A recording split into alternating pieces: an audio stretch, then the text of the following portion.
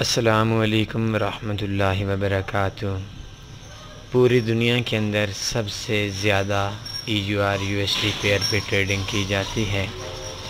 سب سے زیادہ لوگ جو انٹرسٹ لیتے ہیں وہ یو ایس اے اور یو کے کے اندر، ان دونوں ملکوں کے اندر بھی انٹرسٹ لیتے ہیں اور اس کے علاوہ ان دونوں ملکوں کے جو حالات ہیں ان حالات کو بھی ہمارا جو میڈیا ہے پوری دنیا کا، وہ دوسرے کنٹری سے، جیسے جاپان ہو گیا، آسٹریلیا نیوزی لینڈ ہو گیا، ان سے زیادہ کوریج دیتا ہے۔ Euro U S D U S D American euro England تو پوری دنیا کے اندر جو لوگ، جن جن، جو بڑے کنٹریز ہیں، ترقی یافتہ ملک ہیں، آسٹریلیا ہو گیا نیوزی لینڈ ہو گیا، اس کے علاوہ باقی جاپان ہو گیا۔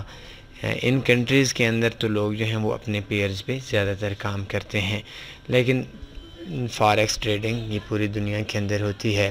تو پاکستان کا پیئر نہیں ہے انڈیا کا پیئر بھی نہیں ہے، بنگلہ دیش کا پیئر بھی نہیں ہے، دبئی، ابو زیبین ان کے پیئرز بھی آپ کو فارکس میں ٹریڈنگ کے لیے نہیں ملیں گے۔ تو ہم لوگ جو زیادہ تر کام کرتے ہیں وہ E U R U S D پہ کام کرتے ہیں۔ U R U S D ایک سب سے اچھا اور ایک ترتیب کے ساتھ چلنے والا پیئر ہے۔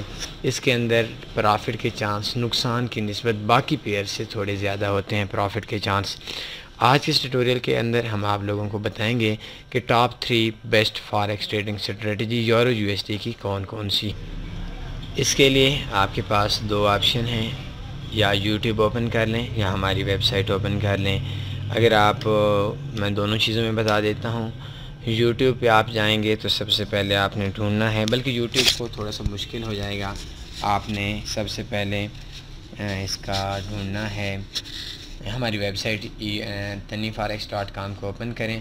اس میں آپ لکھیں، E, U, R, U, S, D world number one just اتنا ہی لکھیں گے، آپ کی پوسٹ اوپن ہو جائے گی، آپ کے سامنے یہ آپ دیکھ سکتے ہیں۔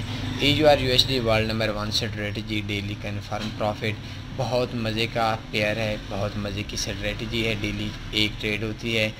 بہت بڑی نہیں تو بہت چھوٹی بھی نہیں، درمیانی سے ٹریڈ لگانی ہوتی ہے۔ تھوڑا سا ٹائم آپ نے اس کو دینا ہے۔ اگر آپ نے آلریڈی یہ ٹیٹوریل نہیں دیکھا ہوا تو آپ اس جگہ پہ سرچ کر کے اس ویڈیو کو دیکھ سکتے ہیں۔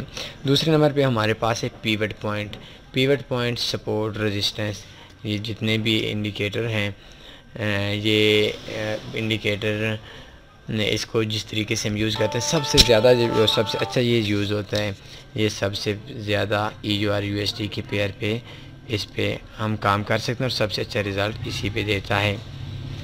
یہ دیکھ سکتے ہیں pivot point support resistance forex trading strategy in Urdu and Hindi بیتنی forex اگر آپ نے یہ اسٹریٹجی نہیں دیکھی ہوئی تو آپ ایک بار دوبارہ دیکھ سکتے ہیں۔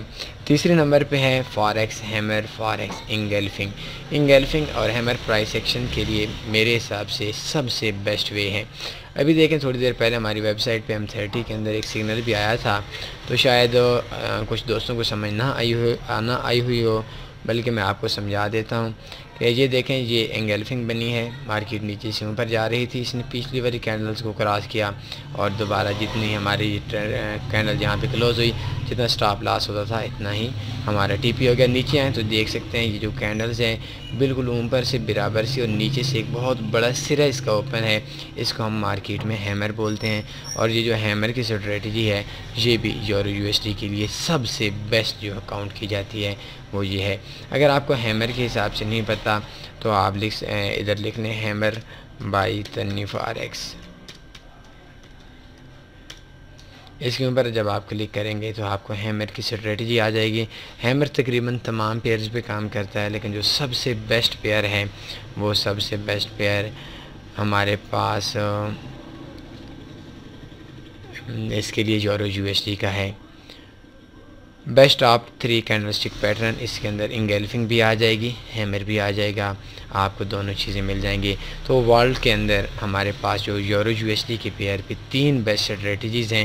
آلریڈی ہم نے آپ لوگوں کو دی ہوئی تھیں، لیکن کچھ دوستوں کا یہ اصرار ہے، کچھ دوستوں یہ سرچ کرتے ہیں، کچھ دوستوں کی یہ خواہش ہے کہ ہم یورو یو ایس ڈی کی اسٹریٹجیز دی جائیں۔